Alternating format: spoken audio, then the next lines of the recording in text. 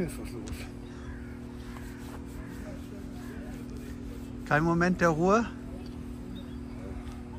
Naja, ich will es halt nicht auf den letzten Drücker machen. Ne? Und äh, jetzt habe ich noch die Möglichkeit, äh, so Sachen wie äh, Decken oder die Luftmatratze eben an Bedürftige weiterzugeben. Das wird gegen Abend schwieriger. Ja. Ne? Und er, der da vorne auf der Bank liegt, der kann definitiv Sachen gebrauchen. Und den haben wir auch jeden Abend mit eingeladen. Wärmt dich bei uns am Feuer, isst was, trinkt was.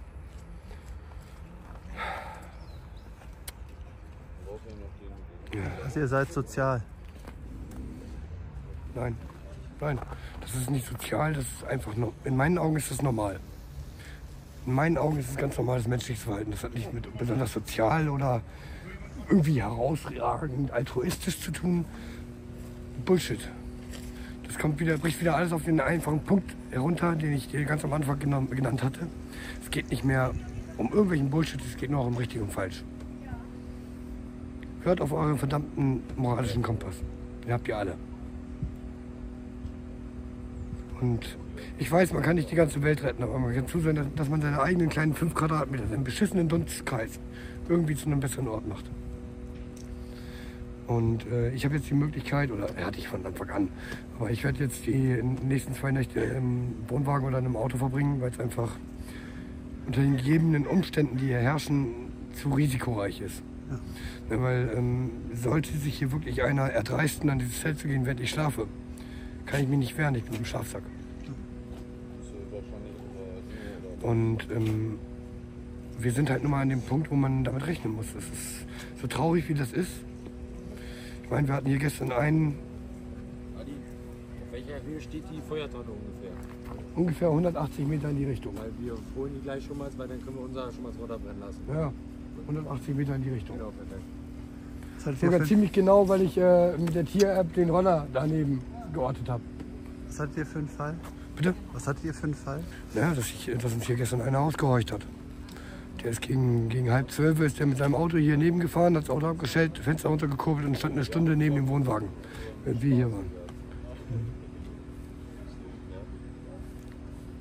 Und äh, woran hast du festgemacht, dass er euch ausgehorcht hat? Naja, wenn da jemand alleine im Fahrzeug sitzt, neben einem Wohnwagen stehend, mit untergelassener Scheibe und nichts macht über eine Stunde, ist er halt nicht unbedingt getarnt. Ne?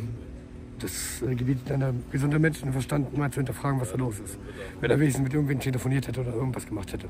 Aber du stellst dich doch nicht einfach so. Ich meine, wie oft hast du dich irgendwo hingestellt, im Auto, bei Winter, mit offenem Fenster und hast im Auto gesessen, über eine Stunde? Nee, nie. Genau, Okay. das, das passiert nicht. Was hast du heute noch vor? Naja, das, was ich über habe, verteilen. Ich denke, ich werde nachher noch mit einer Tasche voller Decken zur Bahnhofsmission gehen. Die können wahrscheinlich Decken am ehesten noch gebrauchen. Ich, ich glaube, glaub, schlauer ist es, wenn ich vorher mal anrufe, bevor ich den Scheiß da hinschleppe und die Lager voll knall.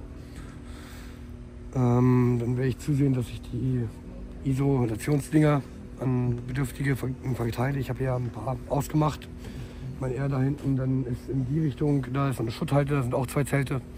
Und der Typ, der an der Bushaltestelle vom Bundestag liegt, der wird auch was brauchen.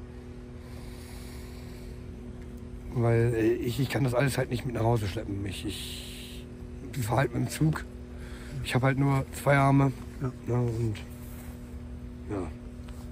Ich sag's dir ganz ehrlich, ich könnte heulen. Ich könnte heulen, weil äh,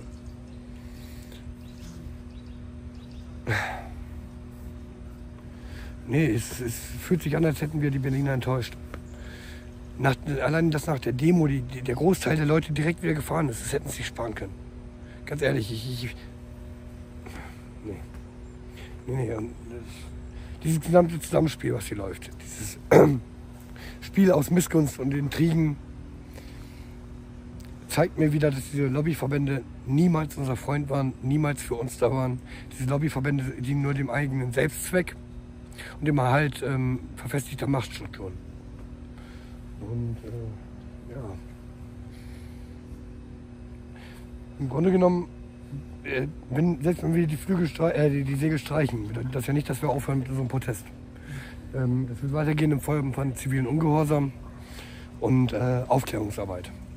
Ich, ich werde mich zu Hause auch nochmal hinsetzen und nochmal weiter tiefergehend recherchieren über die Verbindung hinter den Bauernverbänden, weil so aus dem Stegreif kann ich nur das wiedergeben, was ich irgendwo aufgeschnappt und dann halt durch Nachschlagen verifiziert habe. Aber es gibt noch viel, viel mehr.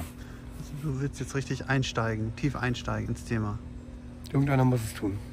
Irgendeiner muss es tun und ähm, die meisten meiner äh, Berufskollegen, also äh, die meisten der Leute, die hier teilgenommen haben, streichen wir als Berufskollegen, haben gar nicht die Zeit und gar nicht die Ressourcen, um sich darüber schlau zu machen, was hinter den verschlossenen Türen passiert.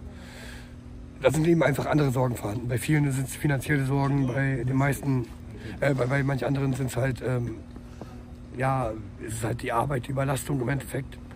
Weil wir sehen es ja in allen Bereichen, es fehlen überall die Arbeitskräfte. Es wird ja immer behauptet, wir hätten einen Fachkräftemangel, den haben wir nicht. Wir haben einen Arbeitermangel. Es fehlt uns am Facility Manager, nennt man das heute ja. Es fehlt uns an, an, ja, an einfachen Arbeitskräften. Nicht an Facharbeitern, die haben wir genug. Die haben, davon haben wir so viele ausgebildet in den letzten Jahrzehnten. Das ist absoluter Blödsinn, was unsere Regierung da erzählt. Das ist halt nur ein weiteres Druckmittel, um uns ja, gewisse Bahnen zu lenken. Ne, weil äh, man sieht ja, überall fehlen Hilfskräfte, es fehlen einfache Verkäufer. Ne? An jedem Supermarkt, an jedem Bäcker sieht man Stellen gesucht und das sind keine Fachkräfte. Da sucht man keine Fachkräfte. Ich brauche für eine Bäckerei nicht unbedingt eine Bäckerei-Fachverkäuferin. Gleich ist es 16 Uhr, das wäre dann der Moment, wo du hättest zum Bahnhof gehen können. Ist die Entscheidung jetzt gefallen? Ja, ja, ja. Ich wurde gebeten, von den Jungs zu bleiben, also bleibe ich. Okay, dann wird dich der Bahnhof heute nicht sehen. Nein. Aber vielleicht die Ja, Bahnhofsmission. die Bahnhofsmission unter Umständen, also doch der Bahnhof, ja. Okay, doch der Bahnhof.